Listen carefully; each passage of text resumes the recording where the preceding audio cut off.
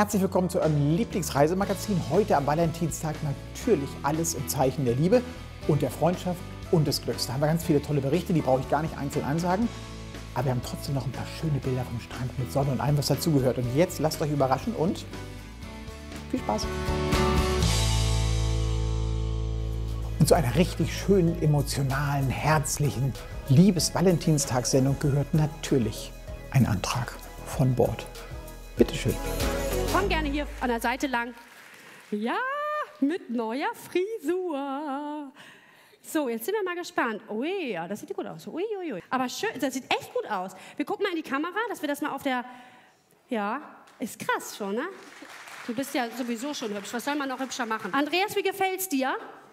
Er sagt ja, gefällt ihm gut. Ja, super. Andreas, komm doch mal direkt hierher. Weil wir haben uns gedacht, ja, wir stellen uns mal hier in die Mitte. Und wir haben uns gedacht, dass, jetzt bist du so schön zurechtgemacht und so, wir nutzen die Chance. Und ähm, das war auch die Idee von Andreas. Und ähm, deswegen lasse ich ihn einfach mal reden. Und ähm, ich bleibe aber dabei, weil ich muss das Mikrofon halten. Komm gerne näher. Und ähm, das ist euer Moment, aber ich bin immer noch da. Los geht's, Andreas. Ja, mein lieber Schatz. Nachdem ich ja zwölf Jahre Soldat war und eine, keine einfache Zeit hatte und das Schicksal uns zusammengebracht hat, bin ich einfach so unendlich glücklich, dass ich dir begegnet bin. Du hast mir den Sinn des Lebens ganz neu zurückgegeben. Und ich will dir einfach nur auf diesem Wege sagen, dass ich über alles liebe und mit dir zusammen mein Leben verbringen möchte. Deswegen frage ich dich hier und heute,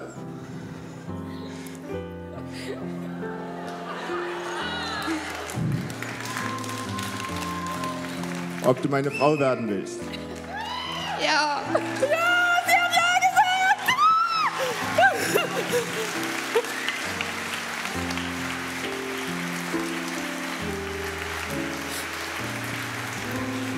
Und nach so viel Rührung und nach so viel Tränen, die wir alle in den Augen haben, treibe ich euch jetzt richtig die Tränen in die Augen, indem wir an den Strand gehen. Es ist so schön und wir haben so Sehnsucht. Endlich wieder Sonne, Meer und Urlaub.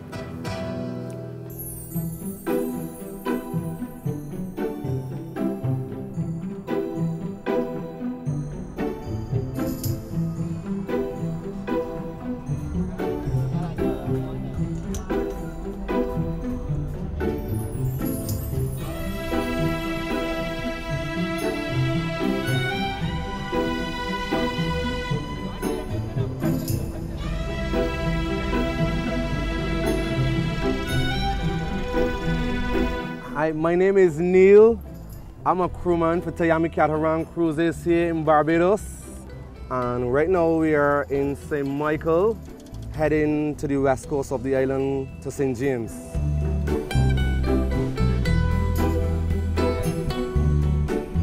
We are going to swim with some turtles, some greenback turtles. After that, we're gonna do a reef stop where we're gonna see some fish and the reef and whatever else is under the water. But whatever is under there, we're gonna see when we get there.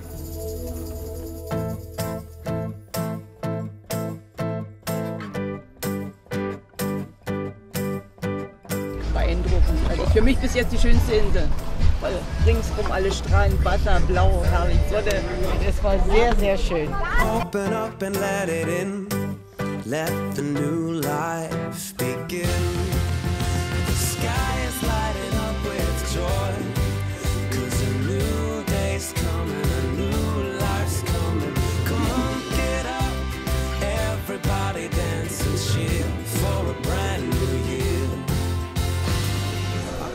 War ein ganz, ganz traumhafter Ausflug. Vor allem das Schnorcheln war schön mit den Schildkröten. Sowas erlebt man nur einmal. Also wirklich Hochachtung. Und wirklich vielen, vielen Dank an die ganze up. Everybody dance and cheer for a brand new year. One of the reasons to like Barbados is that the weather is always pleasant. If you just take a look around, that's the perfect example of what I'm talking about. The blue skies, the blue water, the sandy beaches, and plus the people. So Barbados has a friendly people. Jetzt geht's gleich wieder zur AIDA und dann geht's zur nächsten Insel.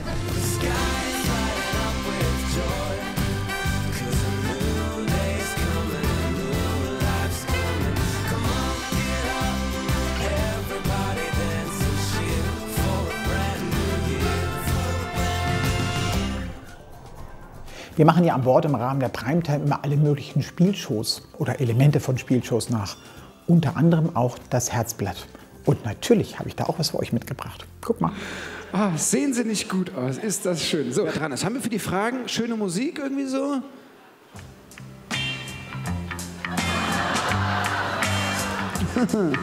yeah. So, Geht los? Caro, the stage is yours.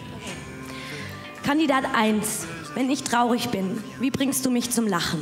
Ich denke, ich würde meine Gitarre nehmen und dir ein paar Lieder vorspielen. Natürlich gute Laune Lieder, bis dann zum Schluss das letzte Lied kommt, bei dem du dann aktiv werden musst, Herzblatt. Und zwar, wenn du einmal traurig bist, dann trinken wir einen Korn. Und wenn du dann noch traurig bist, dann trinken wir noch einen Korn.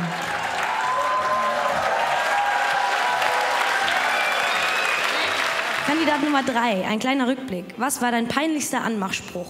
Wenn dein linkes Bein Weihnachten wäre und dein rechtes Bein Silvester, würde ich zwischen den Feiertagen gerne mal vorbeischauen.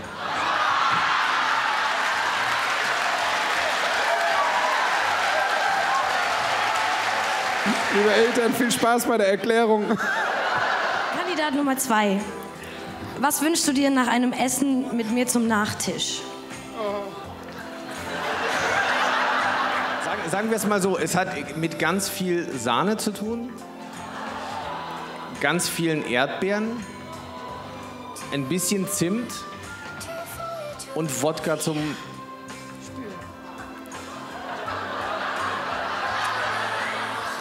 gefügig machen. Kandidat 3. Mit welchem Tier würdest du Kandidat 1 vergleichen? Also ich glaube, er denkt, er ist ein toller Hecht. Aber wenn ich mir so angucke, eher Richtung Eintagsflieger, aber ist egal, das beste Pferd im Stall bin eh ich.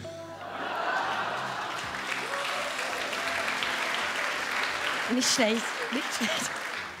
Kandidat 2. Ich habe von meiner Urgroßmutter bestickte rosa Feinripp-Unterwäsche mit Elefanten drauf geerbt. Kandidat 2. Was hat Kandidat 3 von seinen Vorfahren geerbt? Da sein Großvater Pinocchio hieß, definitiv die Nase. Von seiner Oma den Bart. Aber, aber du weißt ja, an der Nase des Mannes, ne? Absolut. Hallo! Absolut.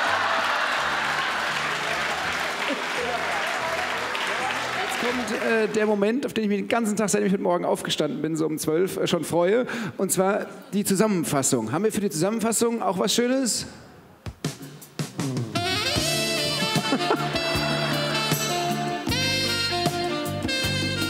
So, liebe Caro, nun musst du dich entscheiden.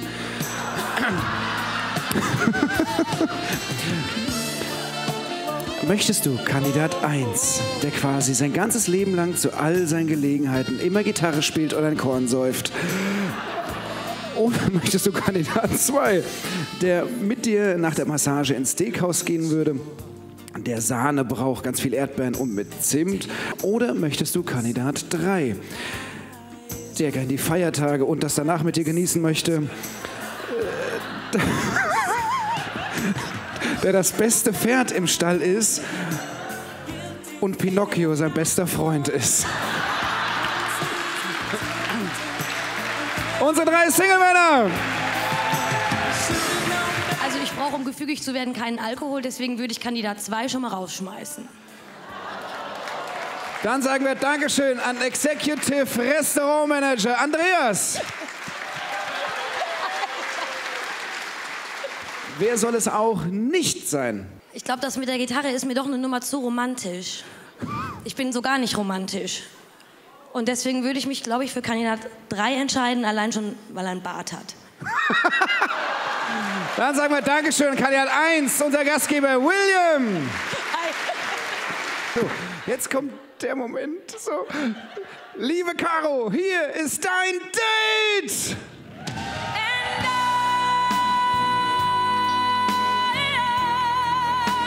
Unser Music Event Manager Max. Herzlichen Glückwunsch. So, einige von euch werden sich erinnern, in der letzten Woche hatten wir ja ein Pärchen, das sich gemeldet hat, das mit einem anderen Pärchen zusammen an Bord war und die haben sich gut verstanden. Sie haben leider vergessen, bevor sie abgestiegen sind, Adressen auszutauschen. Und dann haben sie uns einen Brief geschickt mit der, ähm, mit der Beschreibung und haben uns hier einen zweiten Briefumschlag mit einem Brief an dieses Pärchen geschickt, aber ist keine Adresse drauf, weil sie wussten ja nicht, wo die wohnen. Und wir haben es gesucht und wir haben es gefunden tatsächlich. Und äh, jetzt rufen wir mal die Familie Flieger an, mal gucken, wie es denen geht und dann sagen wir denen, dass wir erfolgreich waren. Letzte Woche hatten wir ja im Magazin das Foto gezeigt und haben unsere Community, die ja im Moment gerade tatsächlich leider nicht fährt und deswegen gucken auch immer nicht so viele Leute zu und haben gedacht, naja, mal gucken, was passiert. Und man glaubt es kaum. Nein. Ja, sie haben sich gemeldet. Nein! Ja, hier ist der Umschlag. Ich werde jetzt gleich ähm, den Umschlag beschriften und dann werden Sie wahrscheinlich ganz zügig Antwort bekommen. Ist ja irre, Ja. cool. Super. Cool, und das Ganze haben wir praktisch zur Valentinstagssendung hinbekommen. Mehr geht eigentlich nicht, oder? Richtig, ja. Extra im Lotto. Wussten Sie noch, wie Sie heißen? Wir waren uns nicht sicher und wir wollten nur keine falschen Namen nennen. Ja. Und meine Frau war immer so der Meinung, der Der Mann. Mann Uwe heißt mit Vornamen, aber ich weiß es nicht mehr. Also, keine Ahnung. Man kennt das ja und viele Gäste erzählen das ja auch, dass sie dann so im Urlaubsrausch sind und so viel Spaß zusammen haben und tatsächlich, wenn dann jemand früher absteigt, dass man dann sozusagen den Kontakt, weil, man so, weil er so selbstverständlich ist und jeden Tag da war, dass man plötzlich gar nicht merkt, dass man vergessen hat, die Adressen auszutauschen. War das bei Ihnen auch so? Haben Sie viele Sachen zusammen gemacht mit den, mit den Pärchen? Wir sind Urlauber, wir machen nicht so groß Kontakte. Wir sind heute Abend da, kommt mal dahin, sondern wenn man sich so mal trifft, ist es sehr nett und es war so entspannt und nett mit den Leuten. Weil, Ja. Ja, und das hat, ist uns so in Erinnerung geblieben. Die waren so sehr linkswürdig und deshalb uns, das hat uns so, ja, fasziniert von den beiden irgendwo. Ich habe manchmal so, ein- ich bin so ein bisschen lustiger Vogel. Wir haben uns dann mal hinter der Tür versteckt, wenn sie vom Essen kamen, haben wir sie so ein bisschen überrascht. Oder wir haben dann gesagt, dann gehen wir mal einen Drink nehmen. Und wir haben ja auch ein paar Fotos und ein paar äh, Videoaufnahmen. Und immer wieder, wenn wir uns die angeschaut haben, haben wir gesagt, schade, dass wir doch keinen Kontakt zu denen haben. Geht euch das auch so, wenn ihr an Bord seid, dass es so ein richtiges, also mal, dass so ein bisschen so ein Familiengefühl auch ist? Ja, auf jeden Fall. Äh, So wie ich dieses Schiff betrete, habe ich wirklich dieses Gefühl, ich bin bei einer großen Familie angekommen. Ja. Und oftmals mache ich ja den Gag dann, wenn ich wieder Schiff verlassen muss und der letzte, äh, das letzte Mitglied der Crew da sehe ich, dann möchte ich den, am liebsten den Koffer in der Hand drücken und muss sagen, dann gute Heimreise, ich bleibe jetzt an Bord für Sie. und wir wollen unbedingt mit der Enkeltochter, so wie Ja. es möglich ist, fahren wir. Geht's los Ja. bei uns. Ja. Sagen Sie einen lieben Gruß. Ähm, sie kann sich schon mal darauf freuen. Es geht ja auf jeden Fall wieder los und wir hoffen alle sehr, sehr bald. Super. Super. Alles klar. Ja. Dann danke ich euch herzlich. Hier ist der Brief. Der wird jetzt gleich äh, mit einer sauberen Handschrift beschriftet und dann freuen wir uns zu hören. Vielen, vielen Dank. Alle Fälle, wir haben zu danken. Auf Wiedersehen. Also, Genau, auf Wiedersehen. Tschüssi. Ciao. Ciao. Ciao.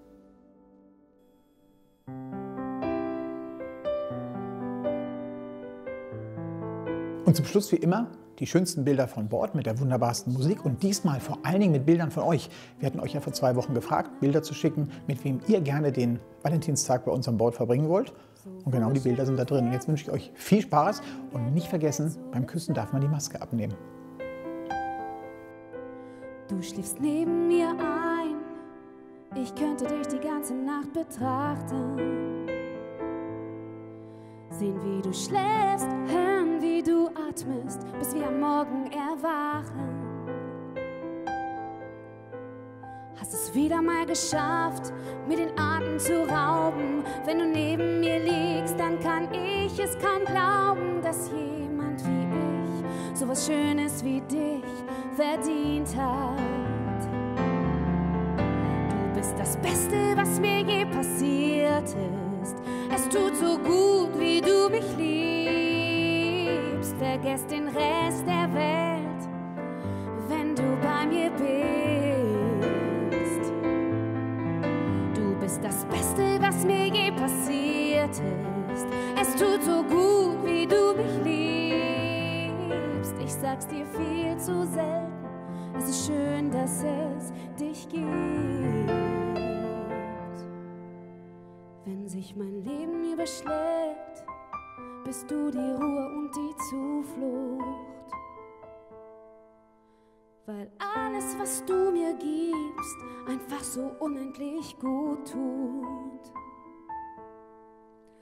Wenn ich rastlos bin, bist du die Reise ohne Ende. Deshalb lege ich meine kleine große Welt in deine schützenden Hände. Oh, oh.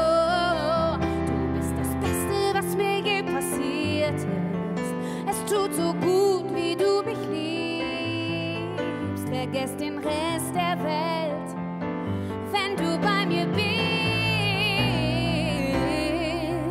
Du bist das Beste, was mir je passiert ist.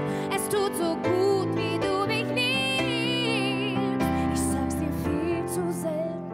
Es ist schön, dass es dich gibt. Ich sag's euch viel zu selten. Es ist schön, dass es